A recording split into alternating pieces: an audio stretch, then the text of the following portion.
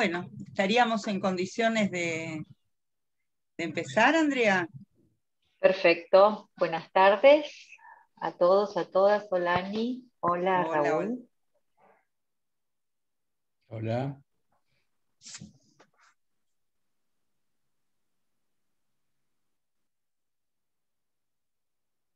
Hagamos de cuenta que estamos en un espacio físico real y que la gente se va acercando y se va acomodando.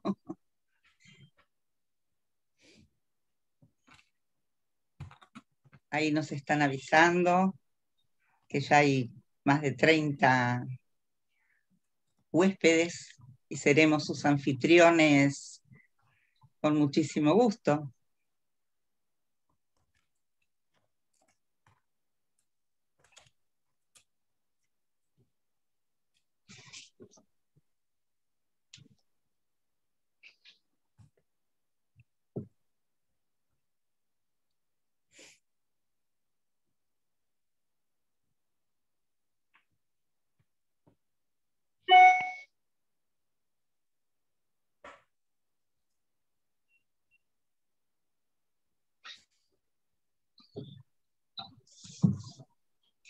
Están saludando los estudiantes que se van acercando y ya son, son muchos. Así que capaz que podemos... Están saludando los estudiantes que se van acercando y ya son, son muchos.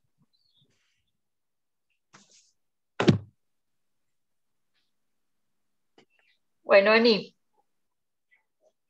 largamos con el foro 21.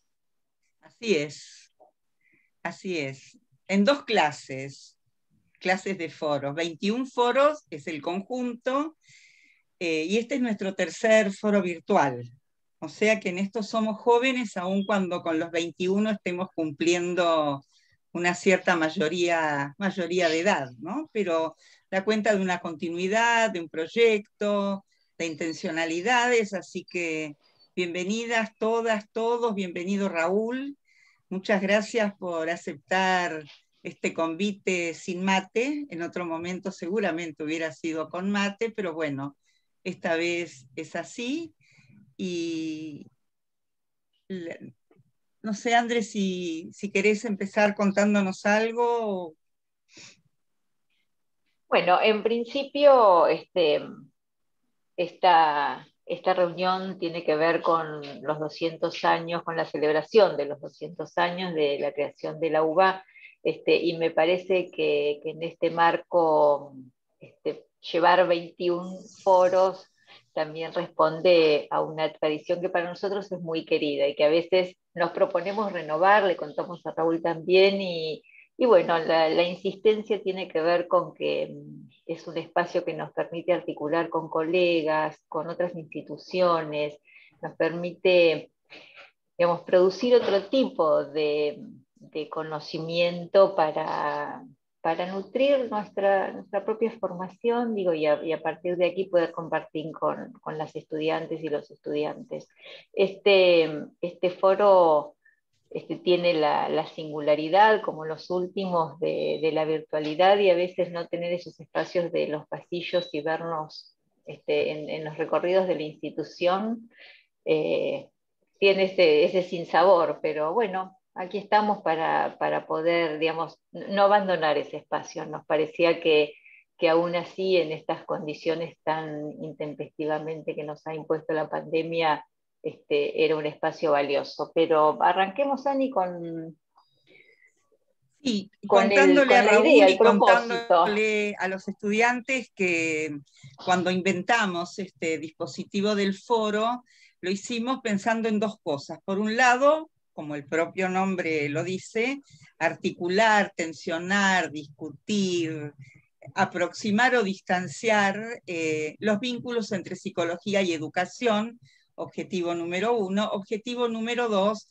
pensar en algo así como el extramuros, que pasa más allá del campo disciplinario, que pasa más allá de las paredes del edificio, y esto hace sintonía con la propuesta pedagógica, la propuesta curricular, que se articula en torno a un módulo transversal, también se lo contamos a Raúl, que tiene que ver con, con pilares, con dispositivos que nos hagan pensar en historia, en política, en producciones culturales, en memoria, en construcción de identidad. Y, y, jugamos siempre con la coyuntura. Indudablemente este año la coyuntura está atravesada por el sentido de los 200 años de la uva y eh, nos pareció importante traerlo, pero no traer los 200 años, sino hacer un recorte. Pero antes de explicar por qué hicimos este recorte, yo me voy a permitir traer a dos figuras que también hacen sintonía con sus ideas en relación a, a esta propuesta de apertura, de tensión y de diálogo, y que sea también una, una suerte de pequeño, modesto homenaje de nuestra parte a la partida de Juan Forn y a esa invitación que él hace, hacía, nos, casi me cuesta hablar en pasado, ¿no? Hacía de hacer lecturas porosas. Y me parece que esto, por ejemplo, de dialogar con Raúl desde una institución hermana, amiga, pero distante en algunas cosas, de dialogar en otros momentos con otros colegas de otras unidades académicas, es una forma de, hacer lecturas porosas. Y también, indudablemente, traer con nosotros a Horacio González y su propuesta de las lecturas críticas. Entonces, cuando decíamos poner en tensión campos disciplinarios, hablábamos de historia, de política, de producciones culturales, creo que es más que pertinente traerlos a los dos, hacer lecturas porosas y hacer lecturas críticas. Y con esto nuestro homenaje a Juan Forn y, a Horacio González.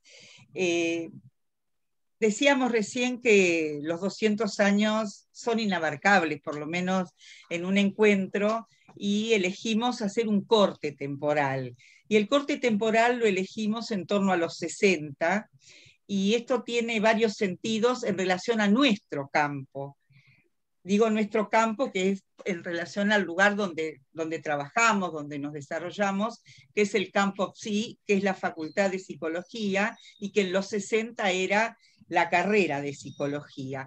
Y esos 60 hacen un punto de inflexión en una carrera creada en los 50, porque es el momento en el que junto con todo lo que seguramente Raúl nos va a traer, salen al escenario los primeros profesionales de la psicología.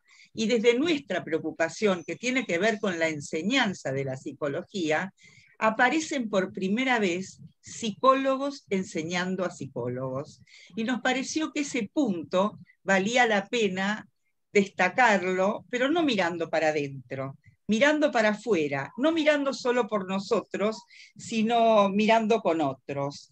Y pensando, pensando en, esta, en esta idea de qué pasaba con la psicología y qué pasaba fuera de la psicología, por una parte, esto de por fin psicólogos en el campo y psicólogos enseñando a psicólogos, lo trae Adela Duarte en una publicación que tuvo que ver con los 50 años de la creación de la carrera de psicología, y ella dice así, la experiencia de los primeros psicólogos entre quienes me cuento tuvo como ingrediente especial la formación de nuestra identidad profesional. Y yo le agregaría la identidad universitaria a un campo de conocimiento. Era claro, dice Adela, que no teníamos otros psicólogos como referentes, como figuras identificatorias. Esa identidad entonces habría que construirla, teníamos que construirla. Pero acá es interesante hacer una aclaración, y es que el campo PSI no se delimita con la creación de la carrera. El campo PSI antecede, no sé si 200 años, pero antecede en muchísimo a este, a este punto que marca Adela, pero hay una feliz coincidencia entre algunas cuestiones que va a traer Raúl y este momento. Y nosotros en, en la invitación hacíamos referencia a un precioso libro que compiló, que compiló Raúl junto con, con Carlos Borches, Manuel Sadowski, el sabio de la tribu, y volví a leerlo, Raúl. Te comento que lo tenía como un poco olvidado y, volví a leerlo en estos días pensando en, lo que fue esa producción, pensando en lo que fue Manuel Sadowski y pensando en los vínculos entre los campos disciplinarios de los que procedemos eh, nosotros y vos y otros colegas en este caso. Y me, hizo mucha gracia eh, encontrar un párrafo escrito por Laura Rosenberg que decía, que dice, como buen político, Manuel tenía un plan y no daba puntadas sin hilo. Cuando el rectorado de la UBA me encargó la entrevista para conmemorar su 80 aniversario, 80 años de Manuel Sadowski, Fui a su casa muchas veces a comentar, grabar y consultar su archivo. Lo que no me imaginaba era que al salir por una puerta entraba por la otra una jovencita de la carrera de psicología. Aclaro que la jovencita vengo a ser yo, pero esto hace muchos años, que estaba haciendo un trabajo similar al mío, aunque con el agregado de cámaras de video y la promesa de una torta de cumpleaños como político, sabía muy bien que a veces los proyectos no llegan a, buen puerto y quería asegurarse de la trascendencia de sus palabras a toda costa. Al final salió primero la fiesta en psicología, con libro, película y sandwichitos. Esto también lo traigo a colación, no solo de, por la, anécdota, sino por esta cuestión de, de, los intercambios, de las interfaces, y, de cómo se construye un pensamiento universitario. Así que, bueno, estas eran las cosas que quería plantear como introducción eh, para que se entienda por qué cortamos en este periodo de los 200 años y por qué vamos a dialogar con Raúl, que, bueno, va a ser seguramente un gusto para todos. André, ¿algo más? No, solo agregar un, pequeño homenaje a las primeras mujeres egresadas de la UBA, este, tan vinculadas con la carrera de medicina, este, y en realidad el, link que se me hacía a mí era eh, con, el normalismo, ¿no? Carreras este, tan femeninas, tan, digamos, la, educación, la salud, este, Mm, y, cómo, digamos, las duras batallas que dieron en ese momento para hacerse un espacio, eh, egresadas de, la Facultad de Medicina, muchas del área de las ciencias de la salud, este, por nombrar a Cecilia Grierson, a, Julieta Lanteri, nada menos, este, a, mm, Alicia Moró, digo, quienes también han hecho ese link con la Facultad de, de Filosofía, ¿no? Este, imaginamos en, digamos, en, en, en 1821, la creación de la UBA, recién hacia fines del, del, 1800, estas primeras egresadas, y con mucho paralelismo con la creación del primer normal, digamos, y las primeras maestras este, trabajando y haciendo también carrera y, disputando un espacio este, que, que, se terminó conformándose en espacios de lucha y con tanto reconocimiento, nada menos que en el día de hoy, este, en donde también este, celebramos el, cupo, la paridad de género, la ley que, incluye a, la población, digamos, estas, estas históricamente excluidas este, trans y, digamos, no solo en los espacios de comunicación, sino también en otros ámbitos de trabajo. Así que me parece que un, sencillísimo homenaje a estas mujeres que nos precedieron y que abrieron caminos tan, tan valiosos para todas nosotras hoy. Y en esa clave a la diversidad de géneros. Así que, bueno, presentamos al invitado y, lo invitamos a, dialogar con nosotras y con nuestras estudiantes y nuestros estudiantes. Este, vamos a, sí, voy a, compartir este, algunas de, algo, algo, del recorrido de Raúl para, para quienes no estén al tanto. Eh, Raúl es magíster en epistemología e historia de la ciencia, egresado en este, esta carrera de la UNTREF, es licenciado en matemática, egresado de la Universidad de Buenos Aires, de la Facultad de Ciencias Exactas y Naturales. Fue profesor regular de esa facultad, investigador en inteligencia artificial y sistemas expertos en instituciones de la Argentina y Brasil. En ese campo es coautor de dos libros y publicó numerosos trabajos. Tiene una extendida trayectoria como consultor en desarrollo de software.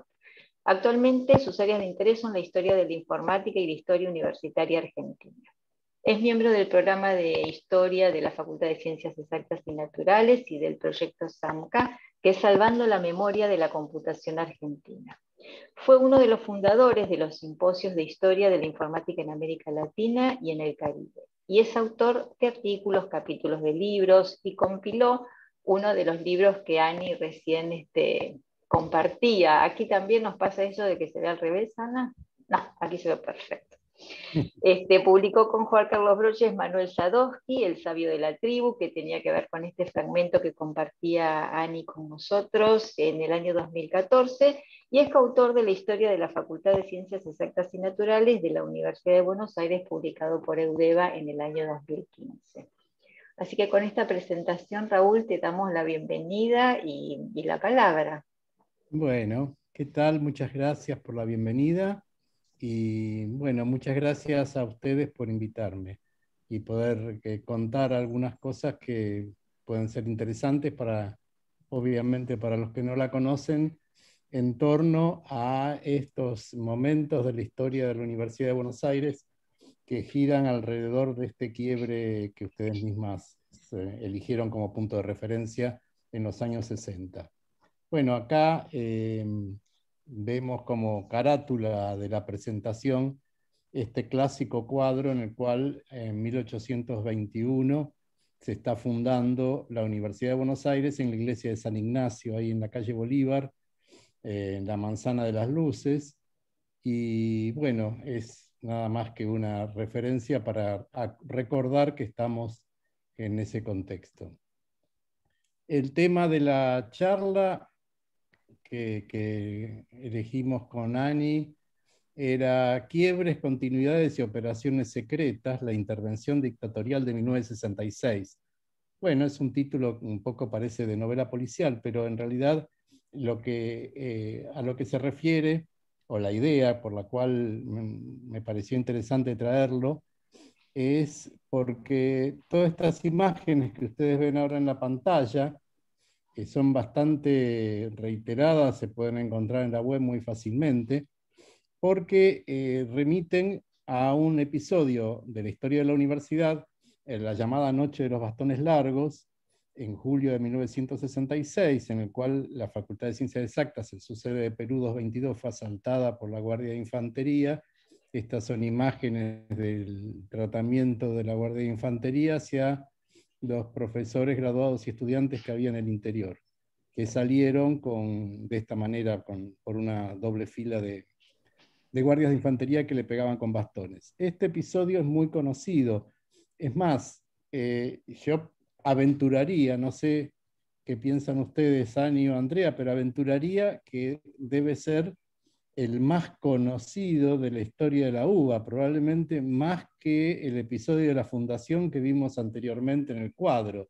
O sea, si hiciéramos una encuesta sobre qué recuerdan de la historia de la UBA, mucha gente que, digamos, que haya tenido alguna relación con la universidad se van a acordar seguramente mucho más de estas imágenes que de las imágenes de Martín Rodríguez eh, con Antonio Sáenz y Rivadavia en la fundación de la UBA. Así que eso mm, me motivó en algún momento, junto con otros colegas, a profundizar un poco, porque lo que había alrededor de este episodio era básicamente una serie de, de, esquemas y de, de ideas que, estaban, que se repetían y que eh, en cambio no se basaban en investigaciones históricas. O sea, llegamos a la conclusión, curiosamente, de que a 50, hace unos años de esto, a 50 años ya de ese episodio, por el 2016, no existía ninguna investigación histórica sobre los sucesos que eran eh, el momento, como acabamos de decir, probablemente el más conocido de la historia de la uva. Existía una cantidad de creencias que algunas removiendo un poco se manifestaban falsas y eh, un montón de eh, declaraciones, testimonios, etcétera, pero ninguna investigación histórica. Y metiendo un poco el dedo y buscando entonces eh, qué, cosas eh, habían pasado desde el punto de vista de una investigación histórica, nos encontramos con algunas, eh, tanto algunas refutaciones de mitos y creencias, por un lado, como eh, algunos episodios que sencillamente eran ignorados por la historia o por lo, que, por lo que se suponía era la historia de este episodio que circula por ahí. Por eso, eh, el título de la charla, porque por un lado la, ruptura de mitos tiene que ver con la idea de que hay un blanco y negro, o sea que hay una universidad que era, eh, digamos, la era dorada o la edad de oro. Las edades de oro siempre remiten a una situación sin conflictos, sin tensiones, digamos, algo así como bucólicas. Eh, y por otro lado, una noche oscura que, mm, a veces me hace acordar a la idea de la Edad Media como, como edad oscura que existía eh, hace ya tiempo. Bueno, supongo que para mucha gente debe seguir pensando así, pero digamos, en la historia oficial misma se, manejaba esta, esta idea de un, ¿cómo se llama? Una edad oscura. Así que haciendo, haciendo ese paralelo, podríamos decir que entre estos mitos y creencias está el de una edad de oro, que podría ser la antigüedad grecolatina eh, para la gente del, Renacimiento, que, a la cual siguió bruscamente una edad oscura. Ahora sabemos, en el caso de la historia europea, que eh, no hubo tal edad oscura y que mucho de lo que somos se lo debemos a, a la Edad Media. Y bueno, también algo de eso eh, podemos rescatar eh, de este episodio, por supuesto en una escala inconmensurablemente menor.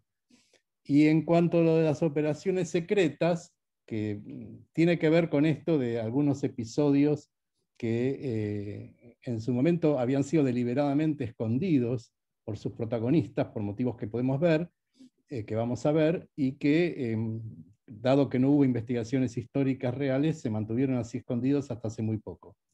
Así que bueno, este, esta idea, esta era un poco la introducción y la idea de qué, queremos eh, o qué nos propusimos con, esta charla. Antes de entrar en el tema de la universidad, eh, queríamos, eh, quería presentar un poco la época en la cual se inscribe eh, los episodios que estamos contando.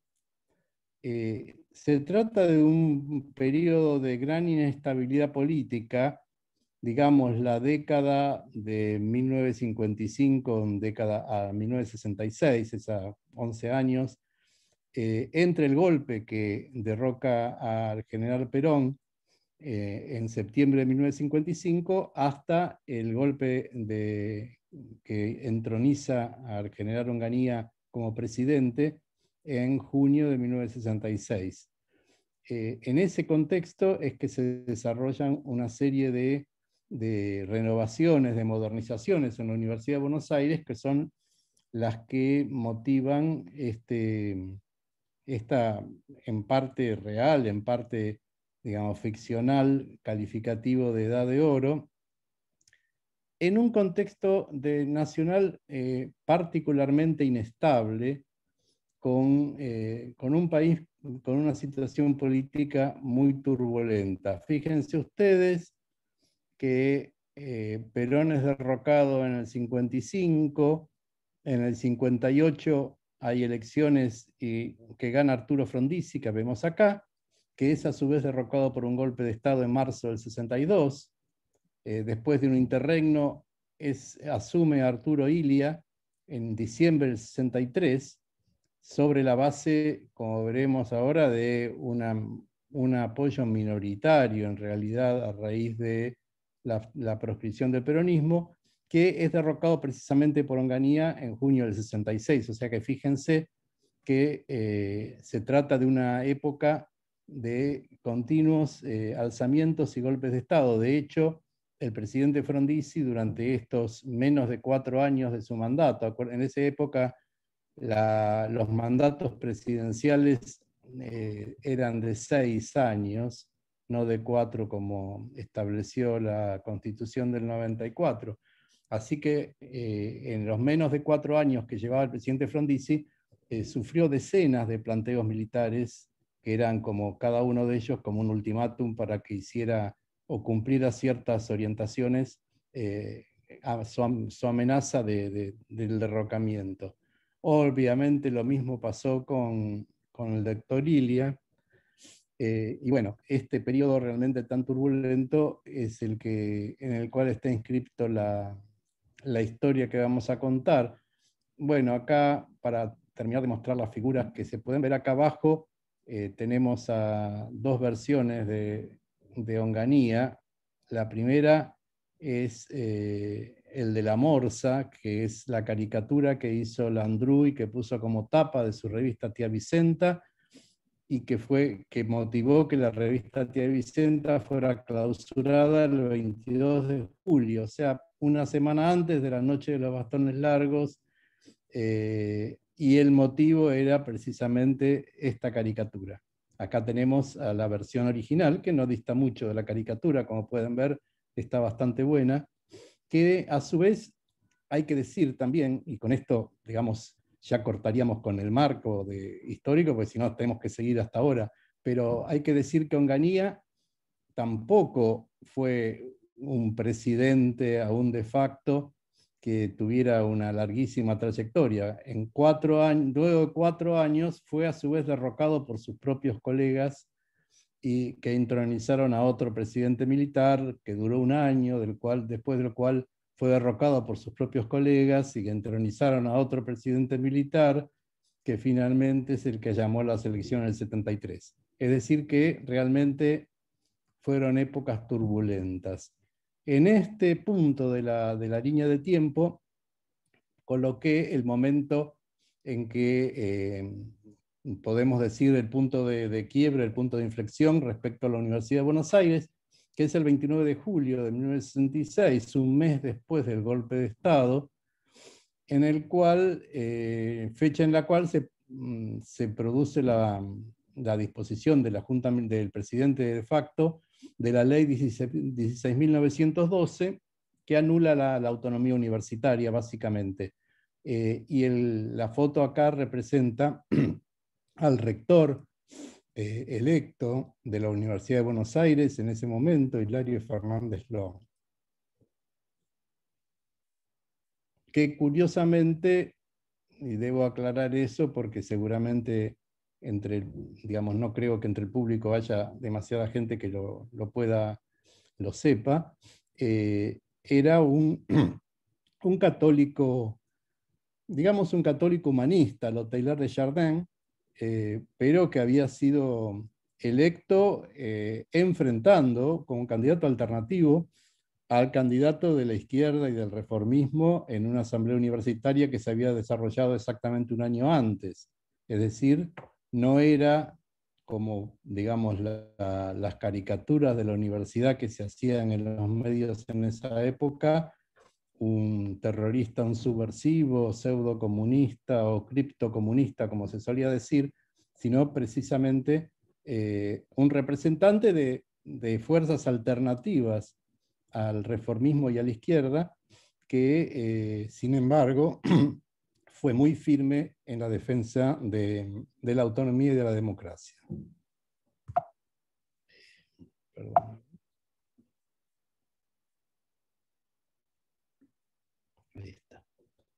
Bueno, hay tres cosas, tres conceptos que importan eh, tener claro respecto al, al periodo que acabo de describir, que son que tienen que ver con esta situación de inestabilidad política, de persecución, etc. Por un lado, la proscripción del peronismo. Esto marca toda la etapa, dado que eh, necesariamente, dado que era el movimiento per se eh, que hubiera ganado cualquier elección que se hubiera desarrollado libremente en esa época, y de hecho, de hecho eh, Frondizi fue derrocado a raíz de que permitió elecciones provinciales unos, unos días antes de su derrocamiento, y en esas elecciones, particularmente la provincia de Buenos Aires, ganó el peronismo, como era de prever.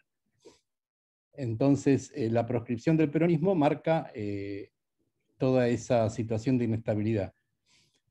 La otra, que no es propia exclusivamente de la Argentina, es el, es el clima de la Guerra Fría. Entonces tenemos que ubicarnos en un momento de extrema virulencia de la Guerra Fría, donde eh, desde Estados Unidos se formaba, porque había una academia, eh, la Escuela de las Américas en Panamá, una academia de, formación y de como un posgrado militar, digamos, donde iban eh, altos militares de toda América Latina, donde se proclamaba la doctrina de la seguridad nacional. ¿Qué era la doctrina de la seguridad nacional? Bueno, era eh, una, un sistema o una teoría o un principio por el cual, dado que se trataba de ubicar como enemigo conjunto de Occidente al comunismo, entonces, y el comunismo era un movimiento político de, que estaba inserto en las poblaciones, entonces la doctrina de la seguridad nacional se, asociaba a un concepto que era el de las fronteras internas. Este concepto es importante de, registrar porque por lo menos lo que pensamos eh, algunos, y creo que es bastante fundamental, podríamos fundamentarlo bien, y lo vamos a tratar de hacer ahora, es que eh, mucho del episodio del que estamos hablando, La Noche de los Bastones Largos y, eh, y sus secuelas, tienen que ver con este concepto de las fronteras internas. ¿Por qué? ¿Qué, qué eran las fronteras internas? Se trataba de concebir que el enemigo, normalmente en las hipótesis de conflicto militar, el enemigo es, otro país que está fuera de las fronteras. El enemigo está por, por el, del otro lado de la frontera nacional. En el caso de la lucha contra un enemigo que en realidad está infiltrado, que esa es otra palabra clave, está infiltrado entre la población, las fronteras no podían pasar por el borde formal geográfico del país. Las fronteras en realidad con ese enemigo pasaban por el interior del país, es decir, pasaban por, eh, por diferenciar a eh, la población de los infiltrados, es decir, los infiltrados eran un campo enemigo que estaba inmerso en, la población. En particular, como vamos a ver, el, las universidades y en particular la Universidad de Buenos Aires eran consideradas por eh, los mandos militares que sostenían esta doctrina como, la, como sede del enemigo interno. Prácticamente entonces podríamos pensar que la Universidad de Buenos Aires o algunos sectores de la, Universidad de Buenos Aires eran vistos como un, eh, un territorio extranjero. Eh, donde residía el enemigo, eventualmente eh, no mezclado con otra gente, pero básicamente donde residía el enemigo. Em, bien, y incluso les cuento esto, no, me, lo acabo de, me, acabo de acordar, durante el mes que, que me dio entre el golpe de Estado de Onganía y la intervención a las universidades en el mes de julio del 66, eh, hubo eh, varios eh, grupos de, extrema derecha, algunos surgidos de la propia universidad, que reclamaban la intervención de las universidades al poder ejecutivo ya conformado por el golpismo. Y en un momento unas declaraciones que, hace uno de estos personajes que va a entrevistar al ministro de, del Interior e interino de Educación, Ernique Martínez Paz, a reclamarle que, que, intervengan las universidades, que clausuren todos los centros de estudiantes, que expulsen a los profesores marxistas, etc. Entonces uno dice, la verdad que lo correcto no es decir que las universidades están infiltradas por marxistas. En la universidad los infiltrados resultamos ser nosotros los auténticos argentinos. Es decir, eh, a, ese punto este, estos sectores de extrema derecha veían a la universidad como extraterritorial respecto al país, es decir, cuando ellos entraban a la universidad se consideraban que estaban se estaban infiltrando en el territorio enemigo. Así que esta inversión eh, es parte clave para entender los sucesos que, ocurrieron en, el 66. Y otro elemento, que, el tercer elemento que quería eh, destacar, es la, pareja desarrollo y seguridad. Eh, ¿Qué entendemos por esto? El clima general de la época tenía que ver con eh, las teorías o con la, con la, noción de que las naciones eh, subdesarrolladas, en vías de desarrollo, como solían llamarse, tenían que avanzar en el camino de las más desarrolladas y esto genéricamente era conocido como desarrollismo, con muchas variantes y con, con muchas interpretaciones. Los militares que tomaron el poder en el 66 eran totalmente ajenos a unas variantes del desarrollismo. Eh, de hecho, consideraban, y el general Osiris Villegas, que era uno de sus teóricos, lo había, lo había escrito, consideraban que el subdesarrollo era el caldo de cultivo del comunismo. Por lo tanto, era necesario promover el desarrollo del país para justamente mantenerlo aislado de ese peligro comunista que se fomentaría justamente por las condiciones de su desarrollo, pobreza, etc. Pero por otra parte, el desarrollo que implicaría industrialización, modernización, etc., era un creador o generador de eh, clase obrera, eventual sindicalismo, etc., por lo cual no podía simplemente desarrollarse en un marco eh, libre y democrático. Por lo tanto, la seguridad, el concepto de seguridad nacional y el concepto de desarrollo tenían que ir, tenían que ir unidos. Es decir, estos militares no promovían la antimodernidad, la no modernidad. De hecho, buscaban la modernización del país, pero en un contexto de desarrollo de seguridad nacional. Comento esto porque es muy distinto y, paso a la siguiente, pues si no vamos a terminar muy tarde, pero comento esto porque hay, digamos, visto a la distancia y por alguien que, no vivió todas estas épocas diversas, eh, puede ser que se considere que la dictadura de, que encabezó Ganía y que fue luego continuada por Levingston y Lanusse entre 1966 y 1973 es homologable a la dictadura cívico-militar que conocimos, que eh, fue del 76 al 83, eh, que es la que todo el mundo tiene más fresco. Y sin embargo, entre otras cosas, este concepto de, procurar el desarrollo, esta, esta idea de modernización que un sociólogo y politólogo muy conocido, Guillermo O'Donnell denominó modernización autoritaria, eh, estaba en la mente de, régimen, de este régimen y no en el, sector mayoritario de la dictadura más próxima.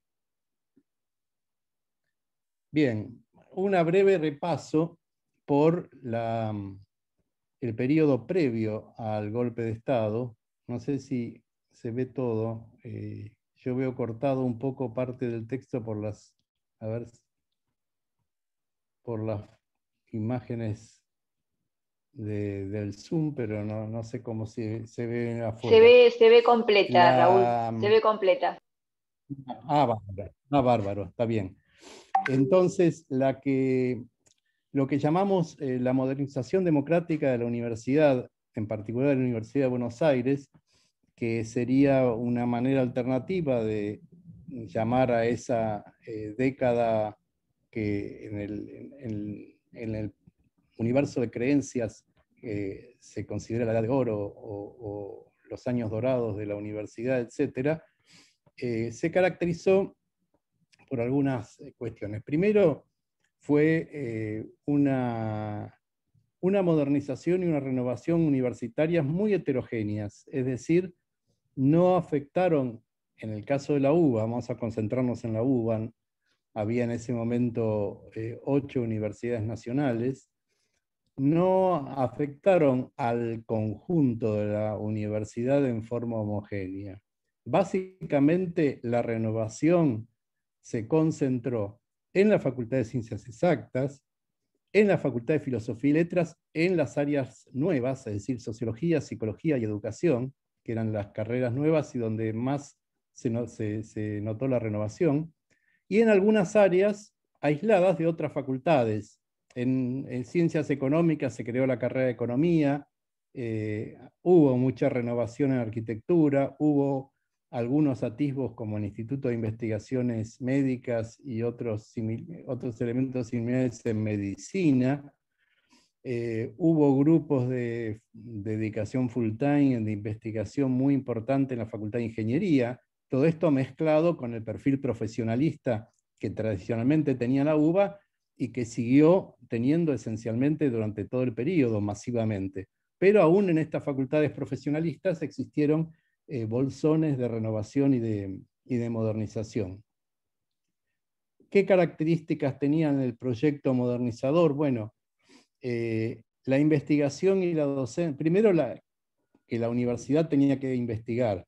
De hecho, cuando se discutió el estatuto universitario, que es básicamente el mismo que rige actualmente la UBA, que fue discutido durante el año 1958, eh, hubo intentos de plantear que eh, la universidad era básicamente una universidad de investigación y que eh, no fue así, digamos, no terminaron siendo exitosos porque eh, los sectores profesionalistas, digamos, no, no lo aceptaron. Es decir, había una puja alrededor del tema, pero en, los, en las áreas de renovación se consideró que la investigación era una cuestión fundamental y que la docencia no podía existir aislada de la investigación y viceversa. O sea que los investigadores tenían que enseñar, pero además que un docente no podía repetir lo que había aprendido si no tenía que ser investigador. Esto eh, en las áreas de renovación que mencionamos anteriormente, en general se llevó a la práctica a través de, eh, no diría de la creación del, del full time, porque el full time existía, de hecho, en, ya en los años 40 existía el full time en la Universidad de Buenos Aires, pero en realidad había, había sido efectivizado en forma muy escasa. O sea, había muy poquitos cuando después del golpe antiperonista y de la, del inicio del periodo que estamos hablando, había menos de, había contado con los dedos de una mano los profesores full time en la universidad, en toda la universidad en las áreas de renovación que mencionamos, eso escaló muy rápidamente. El otro factor muy vinculado a la investigación es la formación doctoral, por supuesto no en el sentido del doctor eh, abogado o el doctor médico, sino la formación eh, doctoral como la conocemos eh, ahora en forma más habitual, que en algunos casos por ejemplo, en, muchas áreas de ciencias exactas, al principio consistía en enviar a alumnos a, hacer, hacer doctorados en el exterior y que al, regresar comenzaran a formar a su vez a, las nuevas camadas. Em, bueno, otro elemento fundamental era la enseñanza experimental. En, los casos como en, ciencias, en los casos de vuelta eh, típicamente en ciencias exactas, eh, no solo había muy escasa investigación, sino que no había o había muy escaso equipamiento de laboratorio. Eh, también junto con esto hubo una serie de avances y de intentos de renovación pedagógica y muchos de los proyectos de investigación y de las, eh, los avances institucionales que se desarrollaron eh, estaban orientados hacia eh, áreas y proyectos y problemas de, interés social y nacional. Eh, después podemos, en, digamos, en, otro momento dar alguna serie de ejemplos. y otros elementos muy importantes que de esta época, que, son indisociables de esta época de la eh, es Eudeva, que fue fundada al principio de esta etapa y que, a diferencia de la Eudeva que, siguió después y que mm, de alguna forma, con todo el respeto, seguimos teniendo, que es una típica editorial universitaria, eh, había llegado a ser la editorial de lengua hispana más importante, con eh, publicaciones millonarias en ejemplares, no en dinero, porque dirigidas al público en general, es decir, cumpliendo una función de extensión cultural que por otra parte era explícitamente considerada una de las misiones de la universidad por este señor que aparece con bigotitos y anteojos ahí, que eh, fue el primer rector electo de este periodo, Ricieri Frondizi, hermano del presidente del cual hicimos referencia anteriormente, eh, que consideraba, y no solo él, que una de las misiones de la universidad era precisamente esta misión de, eh, de expansión cultural sobre la sociedad. Y el otro elemento importante es la extensión universitaria, sobre la cual se hicieron eh, proyectos paradigmáticos como el de Isla Maciel, pero bueno, no me extenderé en eso. La otra figura, y esto tiene que ver con quizá con lo que dejaba entrever Annie al principio, la otra figura que aparece al lado de Riccieri Frondizi, que aparece muy, muy bien caricaturizada por Daniel Paz, es Rolando García, que durante todo el periodo fue decano de la Facultad de Ciencias Exactas y Naturales, pero también fue el vicepresidente del CONICET en su, los primeros años del CONICET, y, y fue una persona clave, yo diría, y por eso me refería a lo que comentaba Ani en cuanto a las fertilizaciones interdisciplinarias, yo diría que fueron por lo menos entre 1957 y 1962, en que terminó el, rectorado de Riccieri y Frondizi, fueron como una dupla. Eh, aclaro que Riccieri y Frondizi era filósofo, eso, digamos, me, olvidé aclararlo para que no lo supiera. O sea, fueron una dupla eh, entre un filósofo y un eh, meteorólogo y físico prácticamente que eh, llevó adelante todo el proyecto. Eh, esto era como una alianza política explícita, no, no, era, no era algo que, que ocurrió porque sí. Bien. La época que estamos hablando, seguimos en la Universidad de Buenos Aires, entonces, recién vimos todos los aspectos de la renovación, etcétera, pero también dijimos que eh, no acordábamos con la idea de edad de oro, porque la edad de oro era una edad, digamos, eh, tradicionalmente se entiende siempre la edad de oro como algo que en el pasado ocurría, que donde había todo, reinaba la armonía y todo funcionaba bien, etcétera, y en realidad esta década, así como existía una inestabilidad política marcada en el país, también fue una época de conflictos para la universidad y para la Universidad de Buenos Aires en particular. Eh, existían, mm, no lo voy a tratar de no desarrollarlo demasiado, por si podemos avanzar, pero existían eh, básicamente un frente externo que estaba dado por eh, todos los, sectores del, poder en general y por diversos motivos, la cúpula eclesiástica y militar en particular, eh, que señalaba a la universidad como un sitio de adoctrinamiento marxista, como un generador de desórdenes, como una cabecera de puente del comunismo. Esto está asociado a lo que comentábamos antes. Todas estas, estas marcaciones justificaban a su vez la condición de in extremis esa condición de extraterritorialidad eh, de la universidad como un territorio enemigo, para decirlo de alguna manera, eh, y si no totalmente enemigo, eh, un territorio dominado por el enemigo, como si hubieran avanzado sobre un pedazo del territorio nacional.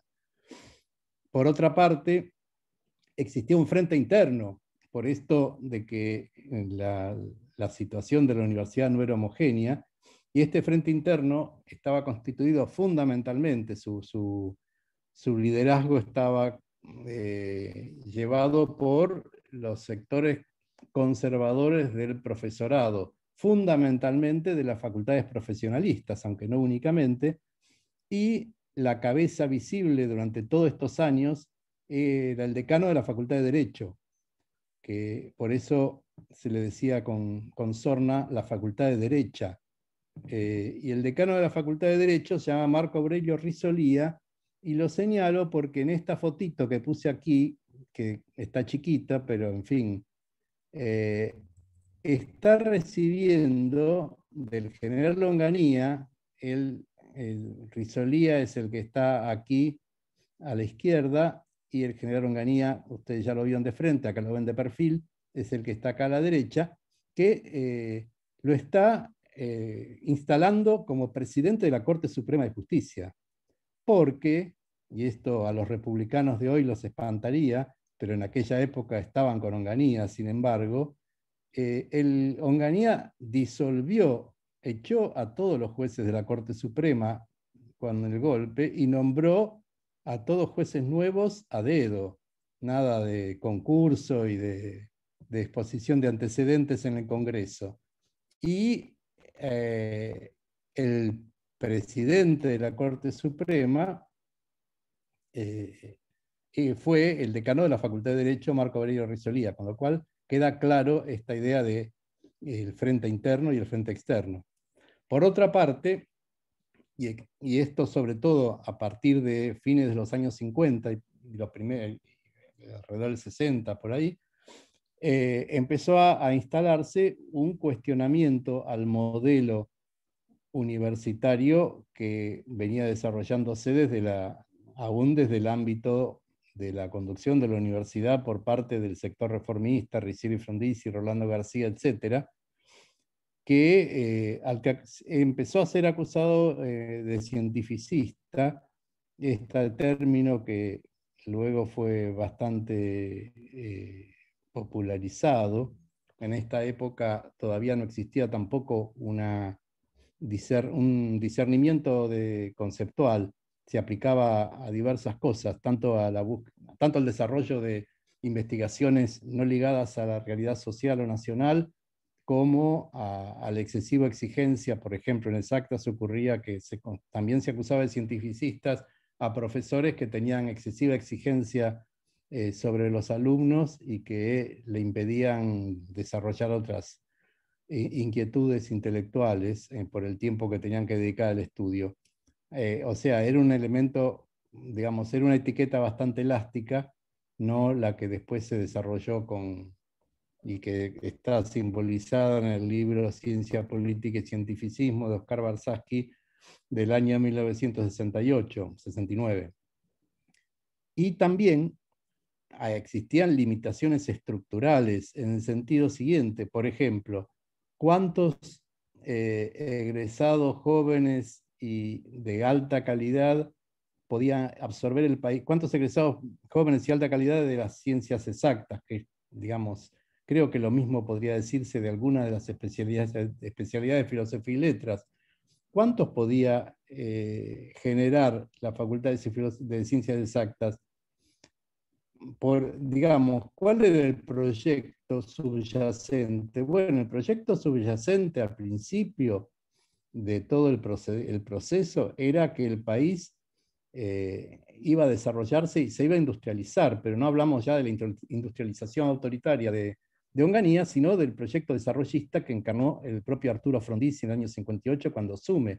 Entonces, un país que iba a desarrollar su industria, que eh, requería a su vez la ciencia y la tecnología, entonces eh, los egresados de ciencias exactas, en este caso, tenían un destino de inserción. En la medida en que este proyecto político fracasa, eh, la única, el camino para una masa creciente de jóvenes graduados de altísima calidad, en el caso de la Facultad de Ciencias Exactas, era mantenerse endógenamente en la Facultad de Ciencias Exactas o emigrar. Entonces, este también fue un elemento de conflicto que eh, movió y afectó el, el periodo, por lo cual era un periodo bastante revulsivo. Bueno, y ahora llegamos un poco al punto eh, nodal, digamos, de la charla. Este, esta transparencia eh, puede dar para toda la, podría dar para toda la charla sola. Voy a tratar de no extenderme hasta muy tarde con ella. ¿Por qué? Porque acá están un poco sintetizadas todas las cosas que ocurrieron en, este, en estos meses del año 66 que estamos tratando de desentrañar con esta... Ah, estamos tratando de contar cómo con algunos colegas lo desentrañamos o intentamos desentrañarlo con investigación histórica.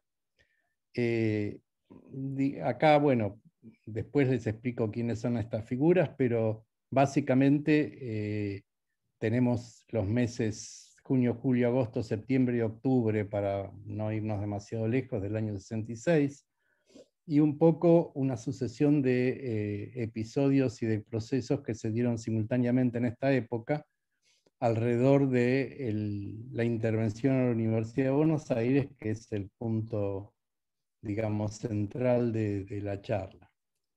entonces, bueno, por un lado, yo ya les comenté la campaña mediática eh, que se desarrollaba contra la Universidad de Buenos Aires. Eh, los estudiantes salían a la calle para exigir mayor presupuesto y entonces se generaban choques con la policía. Esto era visto como, como una alteración del orden etcétera, etcétera. Por otra parte, eh, existían entidades, eh, algunas financiadas por sectores de, extrema derecha, que habían sacado en el año 65 una serie de solicitadas en todos los diarios denunciando la acción comunista en distintas áreas de la, eh, de la vida nacional, el comunismo en la cultura, en los sindicatos, en las cooperativas, etc. Y hubo una de esas 10 solicitadas aproximadamente, que mm, era eh, la infiltración comunista en la Universidad de Buenos Aires y aparecía como una especie de árbol eh, donde aparecía quiénes eran a nivel del rectorado, los, los, comunistas y en cada facultad, etc. Y aparecían ahí Rolando García y, varios de los José Luis Romero, que hasta el año 65 era el decano de Filosofía y Letras, etc. Eh, esta campaña se enlazó también con la campaña política mediática para desprestigiar al gobierno de Ilia y justificar el golpe de Estado. O sea que, en realidad, una parte, la campaña, digamos, para marcar a la universidad como cabecera de puente del comunismo, la subversión, etc., en realidad estaba fuertemente enlazada con la campaña pro golpe, dado que se consideraba que el gobierno de Ilia era blando con la universidad, o sea, toleraba a la universidad autónoma que, eh, era, que, tenía estos males adentro. De hecho, hubo una presión sobre el gobierno de Arturo Ilia para que sea él el que intervenga a las universidades. Era una de las, de las eh, exigencias de los sectores que, golpistas. Y cuando digo esto, no estoy haciendo diciendo nada secreto, todas estas cosas estaban, y eso es importante para imaginar la época, todas estas cosas se leían en los diarios todos los días. Si cualquiera de ustedes va a la Biblioteca Nacional y pide eh, alguno de los diarios nacionales en los meses previos al golpe, va a ver, y en particular en el mes previo, pero también los anteriores, va a ver que todo el mundo hablaba del golpe, y, de qué iba a pasar y de las presiones y que si el gobierno iba a sobrevivir o no y qué decían estos y qué decían aquellos. No era una cosa demasiado secreta. Incluso circulaban programas del golpismo y en esos programas del golpismo, como uno que fue publicado en el diario El Día de la Plata el 13 de junio, o sea, un, dos semanas antes del golpe de Estado, había un capítulo explícito sobre las universidades, donde se planteaba la necesidad de que se aboliera el gobierno tripartito, el estatuto universitario, la autonomía, etcétera, etcétera. Eh, mientras tanto, porque esto es un juego a varias puntas, qué hacían o qué pensaban los sectores eh, que estaban dentro de la universidad defendiendo este proceso de modernización del cual estaba hablando. Bueno, particularmente tengo que hablar del sector que rodeaba a Rolando García, del cual hablamos antes, y que eh, sabiendo que, imaginando que iba a haber un golpe, porque ya, como dijimos antes, no era, hacía falta ser mago para saber que iba a haber un golpe en algún momento y que ese golpe iba a acabar con la autonomía universitaria e iba a empezar a echar gente de la universidad, empezó a organizar, antes incluso del golpe de Estado, lo que eh, llamó la migración ordenada. Es decir, empezó a hacer gestiones con eh, gobiernos y, contactos en otros países latinoamericanos, fundamentalmente en Chile, para eh, lograr que pudiesen trasladarse a esos países equipos completos de investigadores de la Facultad de Ciencias Exactas con la idea de que cuando pasara, suponiendo que pasara relativamente pronto, el, golpismo y pudiera eh, volverse a una situación como de respeto democrático en la universidad, no se dispersaran estos equipos y pudieran volver. ¿Cuál es el razonamiento? Va a haber un golpe. Imagínense que esto era un cálculo que parece ser muy alocado si uno lo imagina en otros términos, pero si uno mira los diarios de la época, no es nada alocado. Va a haber un golpe, todavía no lo hubo, pero va a haber. Una de las cosas que va a ocurrir es que van a intervenir la universidad. A continuación, nos van a echar a unos cuantos de los que estamos aquí, empezando por Orlando García, Manuel Sadowski, del cual habló recién Annie Diaman, que era el vicedecano de Ciencias Exactas, y a muchos de los que están dirigiendo los grupos. Mucha gente, frente a esa situación, ya eh, se va a ir del país va a querer irse. Si se va, típicamente se va a terminar yendo a Estados Unidos, Europa, y desde ahí va a ser muy difícil traerla de vuelta.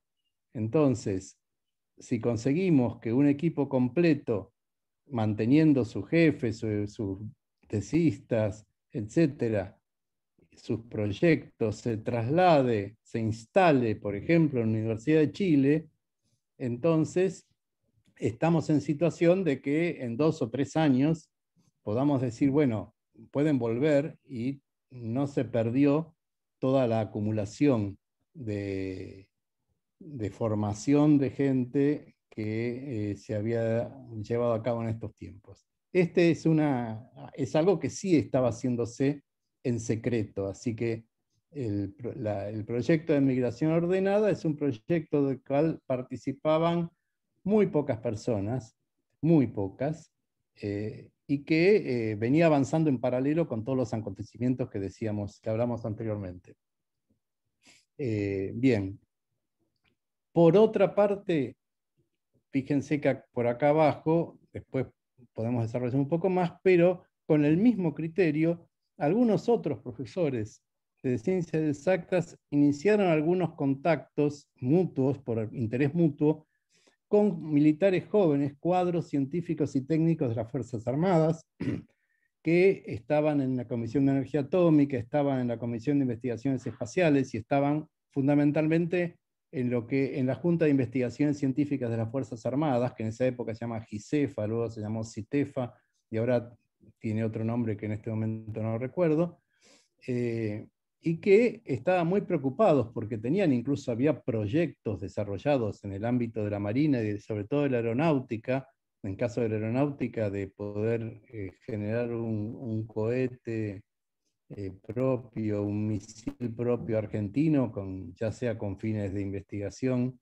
como con fines eh, bélicos, pero para eso necesitaban a los cuadros científicos que se están formando en la Facultad de Ciencias Exactas. Si toda esa gente se iba, iban a quedarse frustrados también los proyectos de este sector, o que este sector estaba visualizando, y por lo tanto también empezaron a operar algunas conversaciones antes incluso del golpe de Estado.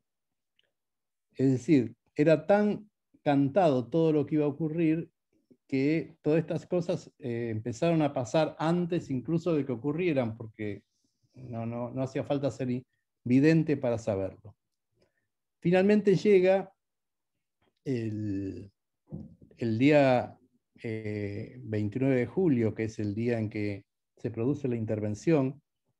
Ese, ese día es interesante, ustedes vieron la, foto que, el conjunto, el, collage de fotos que aparecen en la segunda diapositiva que les mostré con eh, toda esta cuestión de la, Guardia de Infantería, la, la, gente de ciencias exactas saliendo con los brazos en alto, etcétera, etcétera.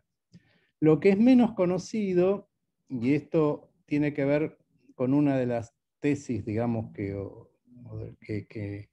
creemos que, que, refleja mejor la situación de ese, o qué es lo que pasó, o por qué pasó lo que pasó, eh, fue que hubo un asalto igualmente eh, brutal. Eh, hubo, hubo incursiones policiales en varias facultades, incluso en filosofía y letras y en ingeniería, pero digamos, no pasaron de algunas corridas y alguna, digamos, eh, alguna, alguna escaramuza menor. Pero hubo una, incursión igualmente brutal en la Facultad de Arquitectura y Urbanismo, que en ese momento fundamentalmente estaba instalada en forma transitoria, porque su destino era la ciudad universitaria, pero todavía no estaba construido el edificio, eh, estaba instalada en forma transitoria en unos galpones que estaban atrás de la Facultad de Derecho, en los cuales después se empezó a desarrollar la feria de exposiciones, etcétera, eh, que habían sido construidos para 1960 para una exposición del Centenario, los 150 años de la Revolución de Mayo. Esos galpones se habían sido otorgados a la Facultad de Arquitectura porque no tenían lugar para los talleres en el, su sede anterior, que era también en la Manzana de las Luces, donde coexistía con Exactas. Y en esa, al mismo tiempo que ocurre la entrada de la Guardia de Infantería a Ciencias Exactas, del mismo modo entra la Guardia de Infantería y la Caballería a eh, los galpones donde estaba la Facultad de Arquitectura incluyendo culatazos al decano que se intentaba identificar como decano, exactamente igual que en Exacta, donde Rolando García fue lastimado. Y, eh, pero lo más espectacular era, y no tenemos fotos porque eso está en la memoria de los digamos, de la gente que vivió ahí, que está registrada en, ahora en trabajos testimoniales, pero la entrada de, de caballos, como eran unos galpones muy amplios, la entrada de, eh, policías a caballo eh, en medio de la facultad, donde por otra parte se estaba desarrollando un día de entrega en la Facultad de Arquitectura, si ustedes, alguno de ustedes sabe, y además en esa época, en que no era una época muy digital, los días de entrega de los talleres de diseño iban los estudiantes con unas maquetas que se habían matado trabajándolas sin dormir, con ayuda de amigos, etcétera, para entregar sus proyectos. Bueno, ese era un día, el 29 de julio era un día de entrega y la, la Guardia de Infantería arrasó con muchos de los proyectos y las maquetas que estaban llevando los estudiantes, que por otra parte no estaban tomando la facultad ni nada por el estilo. Bien, este detalle después lo, vamos a retomar, van a ver por qué. Eh, no es, además de que anecdóticamente puede ser interesante. Entonces, eh, la noche de los bastones largos, el 29 de julio, eh, a continuación se producen asambleas y reuniones en las facultades más afectadas, pero en general en casi todas las facultades de la UBA, en distintas medidas, distintos grados, y empiezan a surgir la idea de las renuncias. La idea de las renuncias, que es otra de las cosas que se sabe, digamos, o sea, los que mínimamente se pusieran en internet a buscar sobre el episodio, además de los palos en la Facultad de Ciencias Exactas, etcétera, saben que después renunciaron un montón de docentes, para ti y para tal. La idea de las renuncias no estaba, digamos, eh, no era generalizada en la universidad en ese momento. Sí era impulsada por Rolando García en particular, dado que era parte de su estrategia para salvar a los grupos y evitar que algunos los echaran, otros se quedaran, otros se fueran por su cuenta. Entonces, la propuesta de renuncia en masa era una propuesta que estaba dentro de la estrategia del grupo que eh, dirigía la Facultad de Ciencias Exactas y Naturales. No era la estrategia, en principio, del de, grueso de los profesores renovadores y, progresistas de la Facultad de Filosofía y Letras, por ejemplo, que eh, el, día siguiente, dos días después de la invasión del el 30 y el 31 de julio, eh, firmaron una declaración donde exigían que se volviera atrás, que se recuperara, que se derogara la ley que había implantado Onganía y que se recuperara la autonomía y el gobierno democrático, es decir, y en ningún momento mencionaban las, renuncias. De todos modos, el impulso que, sacó, que, surgió de una publicación de renuncias masiva eh, casi inmediatamente, en 48, 72 horas, por parte de eh, centenares de docentes de ciencias exactas, eh, generó un efecto cadena por el cual cinco días después se produjo también renuncia masiva de casi todo ese sector de profesores y docentes de filosofía y letras, fundamentalmente, como decía antes, de sociología, psicología y educación. Em, bueno, pero no, no terminó ahí la cuestión, porque se renunciaron aproximadamente el 22% de los docentes de la UBA, con picos del 75 o más en ciencias exactas y con niveles muy, muy bajos en otras facultades como la de Derecho, como decíamos antes. Pero también el, episodio de violencia eh, impactó en otros sectores del profesorado, que incluso en esa época estaban de acuerdo, o hubieran estado de acuerdo, con eh, eliminar el gobierno tripartito y la participación estudiantil, porque decían que se hacía mucha política en la universidad. No eran los que decían que se enseñaba marxismo y que era un cabecera de puente, pero decían que les molestaba, eran científicos, entre ellos, acá abajo ven a Bernardo Hussein, que era el presidente en ese momento, presidente del CONICET, premio Nobel 1947 de Medicina, y era la figura más representativa de la ciencia argentina, que también era de los que opinaban que los estudiantes no tenían que participar en la conducción de la universidad, que eso tenía que dar reservado a los profesores y que no se tenía que hacer política en la universidad, que la universidad era para ir a estudiar y hacer ciencia.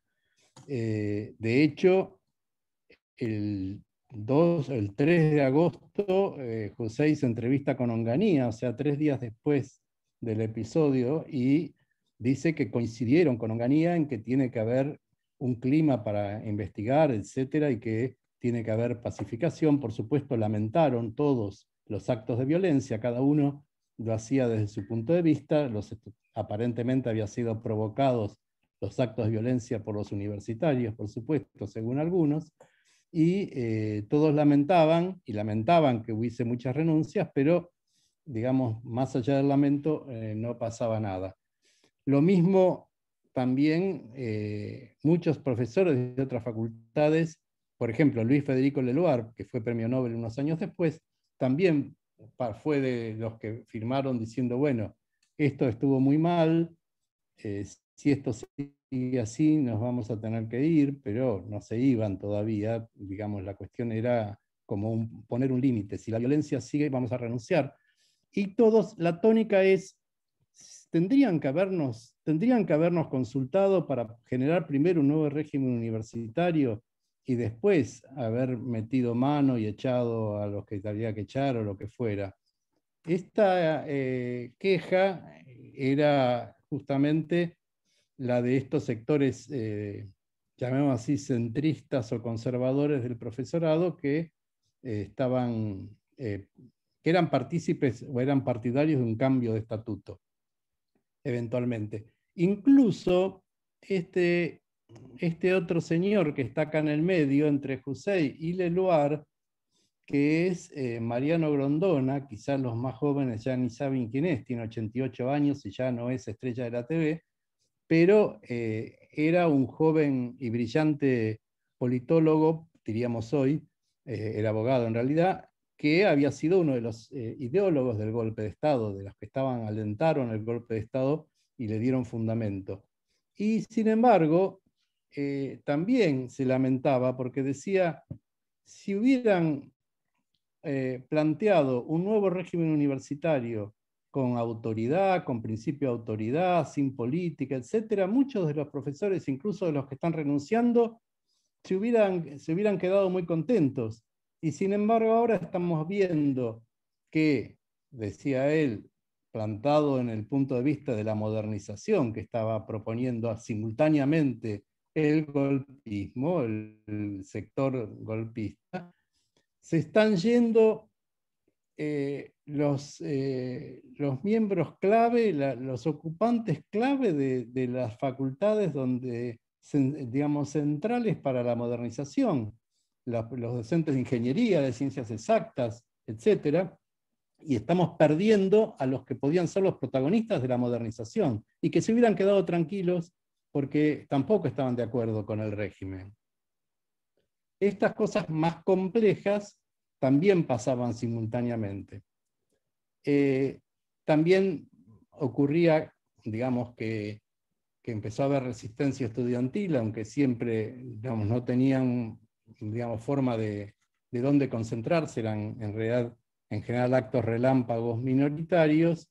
Y eh, quiero destacar algo que hoy eh, también es importante cuando hablamos tanto, digamos, de Latinoamérica, etc.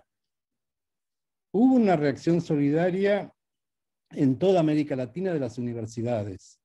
Eh, la, digamos, la Unión de Universidades de América Latina se pronunció y las universidades de Chile, San Marcos de Lima y la Universidad de la República se autoconvocaron y ofrecieron eh, tomar a los profesores renunciantes, etc. Pero además eh, hubo un paro estudiantil nacional en Chile y un paro estudiantil nacional en Uruguay en la primera, los primeros días de agosto. Bien, siguiendo con la, con la secuencia, se producen las renuncias y simultáneamente teníamos la migración ordenada y comienza a, desarrollarse todo este proceso de negociación para la colocación, digamos, de los, muchos de los equipos renunciantes en países de América Latina. Eh, y en esto que mm, dio en llamarse Operativo Rescate o Operación Rescate, que es una de las operaciones secretas, en realidad estaba muy involucrada la Fundación Ford, que había venido financiando muchos proyectos en los sectores renovadores de la Universidad de Buenos Aires, y que fue eh, la que apoyó y financió traslados y sueldos iniciales, etcétera, de muchos de científicos renunciantes a los sitios de América Latina donde estaba previsto que pudieran residir hasta que volvieran, fundamentalmente Chile y Venezuela, que es donde más eh, grupos, grupos y científicos fueron, y en menor grado a Perú.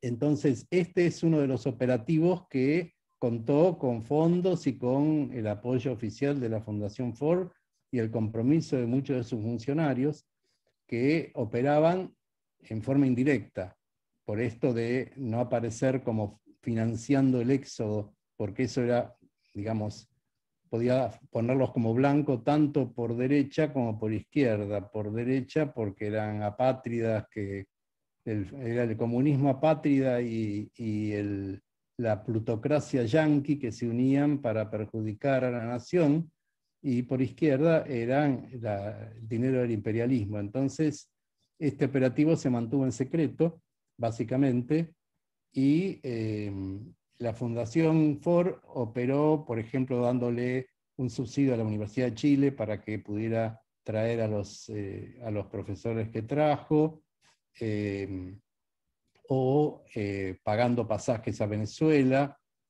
o reteniendo, o hubo gente que se quedó en el interior, por eso hablo de migración interna, quedó dentro del país, en la Comisión de Energía Atómica, en la Fundación Bariloche, en centros que se funcionaban en ese momento. El Centro de Estudios Urbanos y Regionales, que todavía existe, se, fundó en ese momento eh, para alojar al grupo a un grupo. El Centro de Estudios de Ciencia de la Educación también. Eh, bueno, ese tipo, todo ese tipo de, de intentos de mantener científicos dentro del país y, en el caso de que fuera en el exterior, que fueran, que, se, que pudieran retornar eh, al país. Bien, estoy con... Bueno, estoy hablando hace bastante tiempo, eh, pero bueno, voy a tratar de ir más rápido porque si no me parece que aún el tiempo casi indefinido que me ofrecieron va a ser excesivo. Eh, bien, el último comentario interesante, eh, bueno, mientras tanto la dictadura impone a, Luis Botet, que es este otro señor que está acá, como, ¿cómo se llama? como rector de la UBA, y se desarrolla un proceso de normalización con la estructura restante, digamos, o sea, en lugares donde las clases pudieron empezar rápidamente y otras donde se demoraron bastante tiempo. Y finalmente el último comentario que quería hacer era que en el medio de todo este proceso, en el mes de agosto, vino una misión de mis científicos norteamericanos que ya habían estado todos en algún momento en la Argentina y que eran enviados por la Latin American Studies Association, una organización de estudios sobre Latinoamérica que acababa de crearse en ese tiempo y que todavía existe, que venían a estudiar sobre el terreno la situación. Había existido un, impacto muy importante en el medio académico norteamericano de solidaridad con la Argentina, que, eh, que les había llamado la atención a muchos de los propios académicos norteamericanos. Eh, bueno, un, un profesor renunciante de esa época, hablando con, con nosotros hace no mucho, comentó que, claro, en ese mismo año de 1966, Ronald Reagan era candidato a gobernador de California, luego fue presidente de Estados Unidos, y en su programa prometía eliminar al nido de ratas comunistas de Berkeley, es decir, limpiar a la Universidad de California en Berkeley de, eh, de las ratas comunistas escondidas, con lo cual la sensibilidad del medio académico norteamericano era importante. Esta misión que vino, que vino de visita eh, a ver sobre el terreno se entrevistó con autoridades, eh, con profesores, renunciantes o no, etcétera, y también con el ministro del Interior, que le mencionó justamente cuál había sido el motivo del ataque a esas dos facultades que yo mencioné antes, exactas y arquitectura, que después lo vamos a, comentar luego, y también recogieron la impresión, la misma impresión que les di recién, de que muchos de los profesores, incluso los renunciantes, hubieran estado de acuerdo en un cambio de régimen universitario si no hubiera habido una, un ataque de esa manera. Bien, vamos a, a ver un poco, digamos, lo, lo que conté recién son como un montón de elementos que giran alrededor, que, ocurrieron alrededor de, esos eventos tan, digamos, eh, tan trajinados en, general en la memoria, pero digamos en forma tan imprecisa. ¿Cuáles son las creencias cristalizadas que habitualmente eh, se tienen?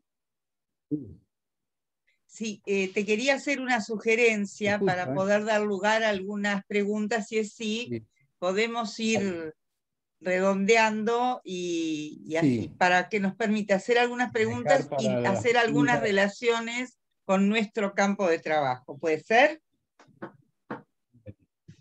Puede ser perfectamente. Yo lo creo que solo voy a comentar esto y voy a dejar el resto para, eventuales eh, comentarios. ¿sí? Solo voy a comentar esto porque lo que sigue después, pero voy a comentarlo rápidamente. ¿Cuáles son digamos, eh, las creencias más cristalizadas es que se trató de un ataque a las universidades nacionales, cuando en realidad es básicamente todos estos episodios ocurrieron en la UBA. Hay una visión también muy centralista y muy porteñista que expandió lo que pasó a la UBA a todas las universidades que fueron intervenidas, pero donde no ocurrieron ni estos hechos de violencia ni eh, las renuncias. Otra creencia generalizada es que el objetivo principal de los ataques era ciencias exactas porque era un ataque a la ciencia porque era peligroso el desarrollo de los científicos, porque los científicos pensaban y cosas por el estilo, y ahí está incluido también el mito de que la Guardia de Infantería eh, rompió a bastonazos la computadora que se había instalado en la Facultad de Ciencias Exactas y que era una de las primeras del país, etcétera, etcétera. Y el tercero era que se trataba de un enfrentamiento entre militares oscurantistas y universitarios modernos. Estas tres cosas creo, con lo que ya comenté, básicamente eh, quedan desmentidas, es decir, no hubo un ataque exclusivo de exactas, el motivo fue otro, no eran militares oscurantistas, había de todo, pero eran, en el fondo eran desarrollistas, ni todos los universitarios eran modernos y progresistas, sino como vimos, existían, digamos, una fuerte oposición interna en la universidad. Es decir, estos, estas ideas de, tan esquemáticas, eh, creo que está claro que no fueron así. Y bueno, nada, esto lo, como dijimos, quiebres y continuidades. Bueno, los quiebres, ustedes ya eso sí se lo pueden imaginar porque es lo que está en boca de todos, la ruptura de proyectos, etc. Sin embargo, también hubo continuidades porque en las leyes universitarias que funcionaron durante la época onganía se siguió planteando una universidad que investiga, con unidad de docencia e investigación, con cursos y full time, es decir, no hubo una disrupción total, y de hecho el régimen de Onganía, en pocos años después, fundó la Comisión Nacional de Estudios Geofísicos, por ejemplo, que fue un centro de investigación muy importante, donde incluso volvieron a trabajar eh, científicos que habían, sido, que habían renunciado. Bien, esto lo voy a dejar simplemente para que quede a la vista porque son una reflexión que hace Manuel Sadowski cinco años después y que eh, básicamente lo que dice es, nuestro pecado no fue hacer política, fue hacer poca política, porque en realidad nos quedamos, nos quedamos aislados de la mayoría de la población, porque la, la prueba es que quién se molestó porque nos pasara esto y que se viniera abajo todo lo que se había hecho en la universidad. Y casi nadie. Entonces, si la población en general no tuvo, digamos, fue como indiferente, es porque no lo hacía suya a la, universidad. Y si no lo hacía suya, entonces, digamos, eso no tenía, así no tenía futuro. Es una reflexión interesante que la dejo ahí puesta en la pantalla. Y dejo abierto, les agradezco la paciencia, me pasé un poco de rosca, me imaginaba que iba a ocurrir, pero bueno, eh, estuviste muy bien en avisarme, Ani, y en pararme. Queda abierta. pero yo te voy a pedir otra cosa, y es que vuelvas atrás, porque hay una imagen que a mí me parece importante. Eh, ese periodo, esa línea fotográfica, vos la cerrás con la foto de Santiago Pampillón. Y me parece que es un dato no menor, sobre todo pensando en que nuestro auditorio está constituido por estudiantes entonces me parece que esa imagen me, eh, merece que le dediques un minuto, aunque sea. Sí, sí, sí, correcto. Yo pasé muy por, por arriba el tema de la resistencia estudiantil, etcétera, porque la centré en Buenos Aires. En realidad, si bien en Buenos Aires fue bastante escasa, eh, poco después, no inmediatamente después de la intervención, sino a raíz de otra serie de episodios, se desarrolló unas movilizaciones muy importantes en Córdoba por parte de los estudiantes y eh, a principios de septiembre, en una gran marcha de estudiantes, la policía disparó y cayó herido y luego falleció eh, Santiago Pampillón, que era un estudiante de la Universidad de Córdoba, trabajador. Y bien, el alrededor de la figura de Pampillón se desarrollaron también una serie de, homenajes, etcétera, y se convirtió en un símbolo de la resistencia de la universidad a la dictadura. ¿no? Esto no quiero desarrollarlo más porque, por lo que hablamos de hablar, pero tenés razón que estaba bien eh, mencionar quién era y qué era. ¿no? Sí, porque además este, ayuda a dos cosas, ayuda a poner también en un lugar a los estudiantes, te, concentraste mucho en los profesores, en los docentes, y por otro lado colabora con esta idea este, casi, no sé cómo llamarla, antigua-céntrica de ubicar acontecimientos que también dejaron marcas en otras universidades nacionales y particularmente en el caso de la Universidad de Córdoba, que digamos, ya venía con, un arrastre de la reforma en adelante. Y bueno, te quiero contar que, acá tenés como una especie de club de fans que agradecen, excelente Raúl, muy bueno el recorrido histórico, eh, agradecen la periodización, destacan la importancia de lo, de lo que vos fuiste comentando. Eh, un saludo de nuestra común amiga Silvia Braslaski, que no quiero dejar pasar. Este, y, si me permitís, me gustaría como en diálogo, unos poquitos minutos, como en diálogo con lo que vos planteaste, eh, ponerlo en relación con, con lo que pasaba en, en, el campo en el que en ese momento, el campo digo, en el territorio en el que en ese momento funcionaba la carrera de psicología. Y es importante que los estudiantes sepan que en ese momento la no existía la facultad de psicología. Y tus referencias, que fueron reiteradas a la Facultad de Filosofía y Letras, incluyen a la carrera de psicología. Y esto vale la pena destacarlo, ¿sí? No, no, que está bien, que era uno de los sectores de renovación, la sociología, la psicología y educación, justamente, los sectores renovadores de la Facultad de Filosofía y Letras. Y que gran parte de los comentarios que vos hacías entre conservadores y renovadores eh, se pueden reproducir como en un eco más pequeño al interior de la propia Facultad de Filosofía. Eh, los habitantes naturales de la Facultad de Filosofía no veían con buenos ojos estos revolucionarios psicólogos, sociólogos, cientistas de la educación que venían a alterar esta tradición humanista, universalista, este, de pensamiento eh, en la Facultad de Filosofía y Letras.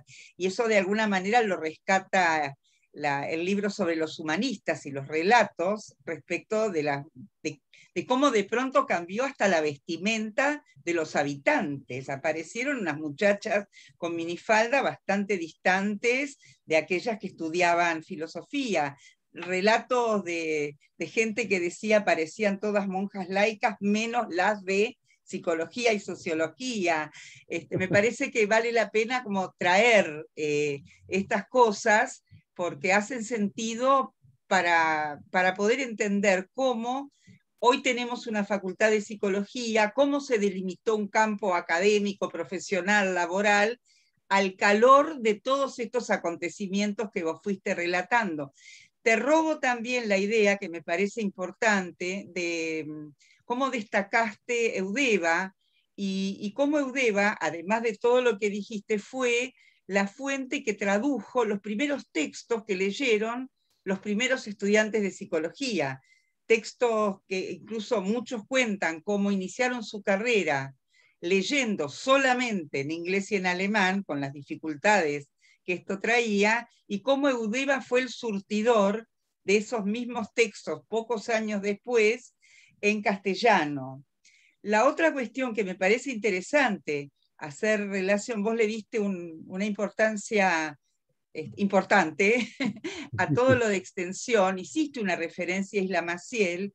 Isla Maciel fue un espacio de privilegio para el desarrollo de actividades voluntarias, militantes, de estudiantes y primeros graduados de, de, la carrera de psicología, y en paralelo una experiencia por ahí menos conocida, como la experiencia de la Villa de Retiro, en la que tuvo un papel preponderante Blecher, que es una versión del Blecher que por ahí pocas veces circula al interior mismo de la facultad.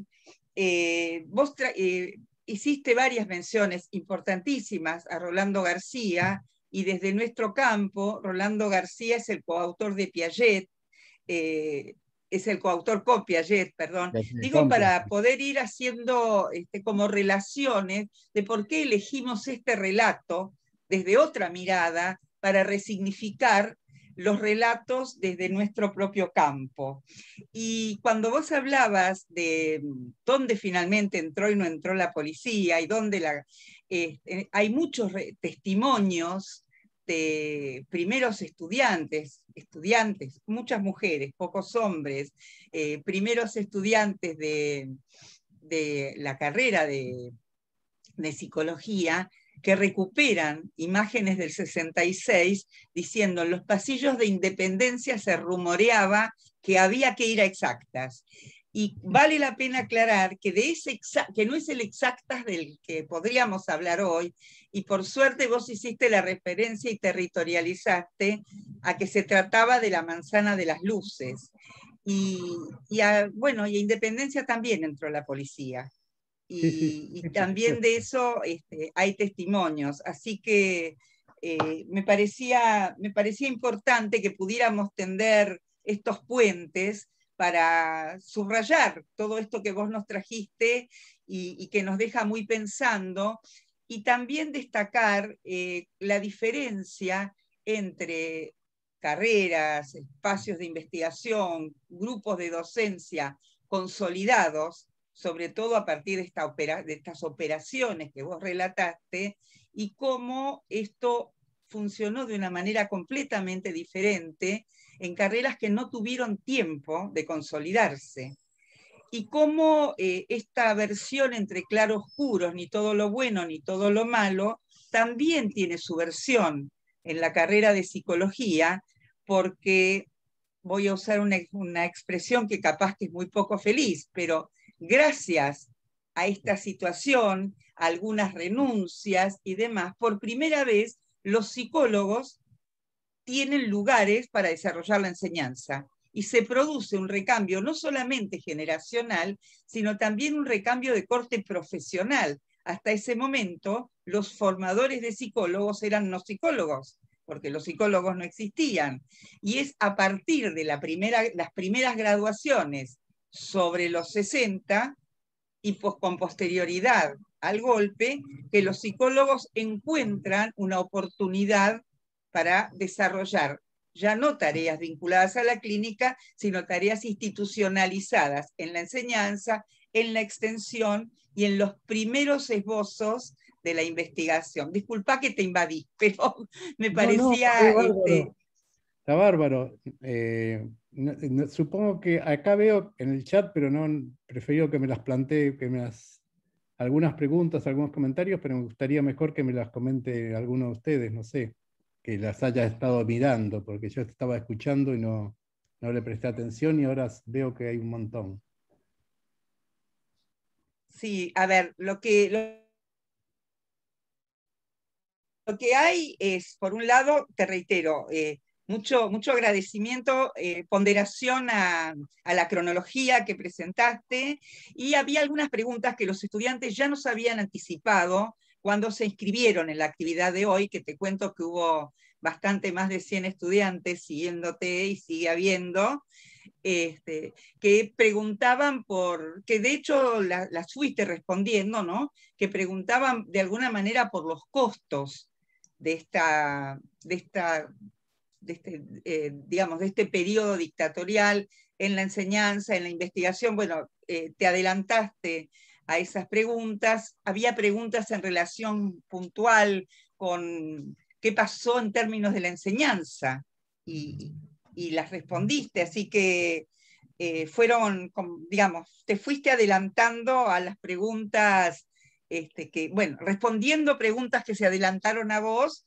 y vos te mm. adelantaste a preguntas que, que aparecieron después.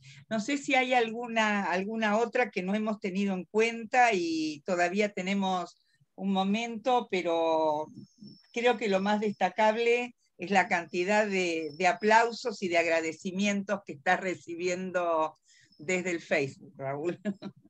Yo quería hacer dos comentarios y además les agradezco, la verdad que eh, tuve que terminar un poco bruscamente, pero la verdad que era porque es responsabilidad mía eso, así que les pido disculpas en ese aspecto.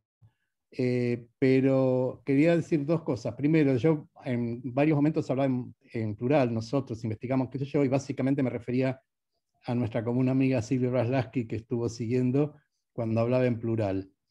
Y un detalle, ya que estábamos hablando de intercruce de disciplinas, eh, vos mencionaste Rolando García, que después es coautor con Piaget y se convierte en un líder constructivista de, la construcción del conocimiento, etc.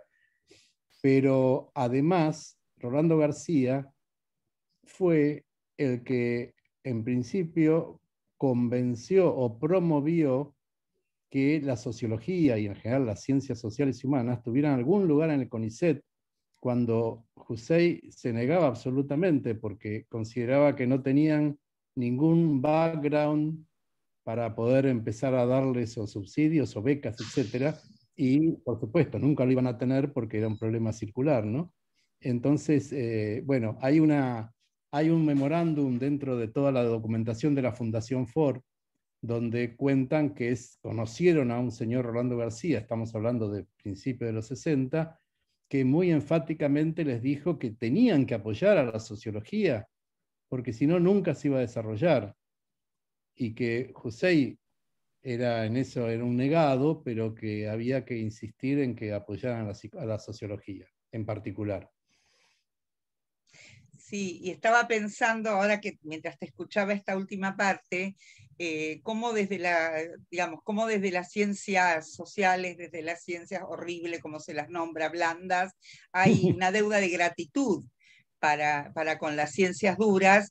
Eh, no solamente esta cuestión de la rivalidad y de la discusión por la validez científica de los modos de investigación, eh, eso es un capítulo. El otro es cómo hubo un esfuerzo. Y pienso, por ejemplo, en el grupo, y vos hablaste de la solidaridad latinoamericana, en el grupo de reflexiones filosóficas del Río de la Plata, que eran básicamente cientistas duros reflexionando desde la perspectiva eh, de las ciencias blandas. Uso esta expresión porque creo que, que, nos ahorra tiempo, no porque me da un poquito de vergüenza, pero creo que nos ahorra. este, Raúl, a ver, hay dos cosas que te queríamos contar y dejamos el agradecimiento para el final. La primera es que nosotros tenemos una tradición eh, tenemos dos tradiciones. Tenemos una tradición de dejar un testimonio cada uno de los que nos ha acompañado a lo largo de estos 21 foros y en los últimos foros hemos adquirido una nueva tradición que es la tradición de la deuda.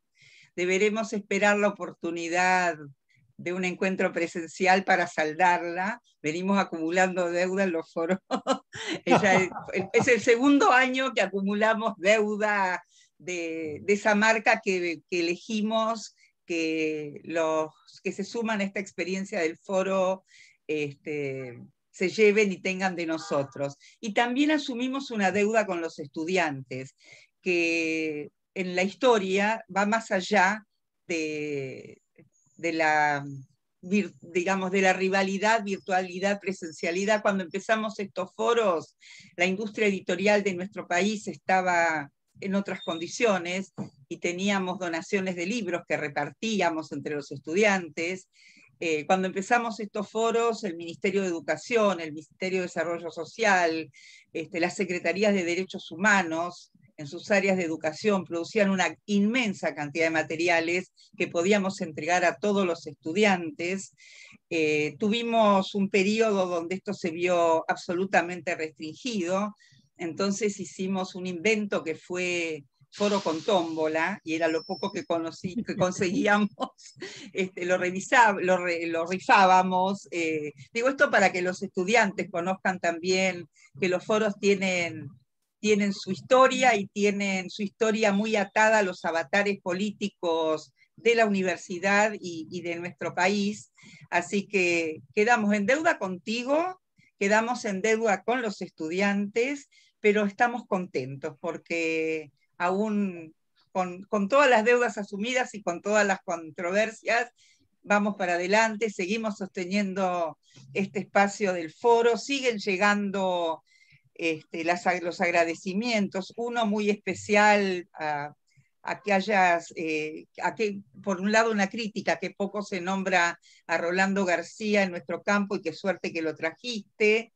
Eh, bueno, nada, siguen, siguen, siguen. Después, en todo caso. Yo me quedo, sí, me quedo pensando, digo, como para, la verdad que hubiésemos seguido. ¿eh? Yo la sensación que tengo que estas historias, la verdad, que siempre... de hecho, la gente está, ¿eh? Nadie, no se fueron, están, están, están, No, yo quería solo redondear una cosita entonces, porque ah. tiene que ver con un, hacer un cierre que, porque yo dejé algunos piolines sueltos y, digamos, corté antes de atarlos, a lo mejor algunos los ató por su cuenta, pero era por el tema, a raíz de este tema del ataque a la ciencia y porque todo se habla, al hablarse solo de ciencias exactas, entonces se crea toda la cuestión de que lo que se quiso atacar es el, desarrollo científico del país, etc. Hay, una, hay un testimonio de uno de los, mm, de los científicos norteamericanos que vino en esa misión que yo comenté, que se entrevista con Martínez Paz, ministro del Interior e interino de Educación, y Martínez Paz le dice y esto lo transcribe este científico y está en unos informes que describe, le dice, elegimos dos facultades para producir un escarmiento, un tratamiento especial. Elegimos las dos facultades donde el comunismo era más fuerte. Curioso, no eligieron filosofía y letras. Elegimos las dos facultades donde el comunismo era más fuerte. No, dice, no dijo cuáles, pero como es obvio cuáles eran las dos, por lo que comenté antes, cabe la... Ah, y además hice una segunda reflexión, esto, eh, todo esto lo charlamos con Silvia, de hecho lo, encontró Silvia en los papeles, eh, porque hay, dijo, porque hay comunistas que se denominan a sí mismos comunistas y otros comunistas que se denominan a sí mismos católicos. Dijo este señor que era del Opus Dei, o sea que no era, no era que era musulmán, pero se estaba refiriendo a, este sector humanista de los, del catolicismo, que estaba muy reflejado en la Facultad de Arquitectura y Urbanismo, cuyo decano y, su mayoría profesoral y mayoría estudiantil en esa época, en ese momento también, pertenecían al humanismo. Así que eh, la idea entonces es que no fue un ataque orientado en función de preceptos como la ciencia o no la ciencia, sino basado en esta idea de las fronteras internas. O sea, vamos a hacer una operación, yo lo, lo, denominé con, Silvia en, un trabajo que hicimos, una operación punitiva, como cuando un destacamento cruza la frontera y entra a hacer una cierta devastación en el territorio enemigo. Eh, más, más una operación punitiva que una operación antieducación o antiuniversitaria o anticientífica, más allá de las consecuencias desastrosas que trajo. Pero como sentido, es mucho más fuerte el sentido de este que acabo de dar, que se explica que si no, no se entendería la inclusión de arquitectura. Sí, y yo pensaba, mientras escuchaba esta última intervención tuya, eh, otra vez haciendo este juego de link, de links, de, pasar, de, tender puentes, de hacer puentes entre uno y otro lugar, un testimonio que estuvimos trabajando estos días con el equipo de, investigación que hace historia de la enseñanza de la psicología, un testimonio de Beatriz Grego que decía que en medio de todas estas revueltas de las que vos contás, trajeron a un obrero al hall de independencia y lo podían tocar. Y digo, el obrero que además es el símbolo más puro y duro de lo que significa el comunismo, que, que trajeron a un obrero que además de escucharlo, lo podían tocar y reflexiona para sí mismo que lo más aproximado que tenían en el imaginario estas estudiantes y estos estudiantes de psicología de entonces eran los taxistas y las mucamas. Hasta allí llegaba su posibilidad de considerar a los trabajadores otros. Y en este batifondo traen un obrero. Me parece que, eso, digamos, es una, una pintura, una pincelada tierna y complicada a la vez de, estas cuestiones que vos, que vos traías. Hay dos comentarios que me parece importante y creo que ya con esto vamos a ir cerrando. Una colega del equipo de cátedra, Denise, eh, además de agradecerte y sobre la periodización, pregunta si hay rastreos o investigaciones acerca de las biografías de esos profesores que no eran ni modernistas ni progresistas más allá de Hussein. Y después un comentario que hace, que hace Silvia Braslaski, diciendo que eh, quería destacar que los grupos de exactas tenían muy pocas posibilidades de quedarse en el país y aún la Fundación Ford, que sostenía que los científicos sociales debían quedarse y apoyaron a la Fundación Bariloche y a la Fundación Ditela, y de hecho muchos quedaron financiados por la Fundación Ford, eh, digo, como detalles que, aportan a, bueno, a todo esto. Y hay otra pregunta, si el Martínez Paz que mencionás es hijo del reformista del 18. No lo creo porque, primero, no sé quién sería el reformista del 18 Martínez Paz. Me parece que Martínez Paz tiene una familia muy tradicional y si estaba en el 18 era antirreformista, de los estudiantes antirreformistas, pero la verdad que eso se me escapa. Respecto a lo de las trayectorias, eh, bueno, es que hay de todo. Más allá de Hussein, había muchos otros, porque las declaraciones de profesores, digamos, bueno, todas las tenemos copiadas de los diarios, de casi todas las facultades hay grupos de profesores que dicen ese tipo de cosas, tipo, bueno, nos hubiera gustado que nos hubiera mandado una ley nueva y entonces después, etcétera, etcétera, primero los objetivos y después las acciones, ese tipo de razonamientos que también hacía Grondona. Algunos de los que eh, estaban con esa posición también renunciaron por ejemplo, hay un renunciante de la Facultad de Ingeniería que eh, se traslada a Lima, a Perú, y que después en, en, algún documento de estos que encontramos en archivos aparece que dos años después quiere volverse a la Argentina, porque bueno, no fue el ambiente más... Eh, Venezuela y Chile tuvieron un ambiente distinto, en Perú no le resultó tan fácil a los que estuvieron, y ese dice, yo hubiera, ese renunciante de la Facultad de Ingeniería, digamos, eh, que es un personaje bastante conocido porque después estuvo muy vinculado a la ORT.